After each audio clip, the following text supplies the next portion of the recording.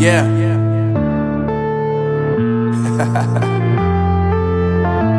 Unknown brain. Marvin Divine.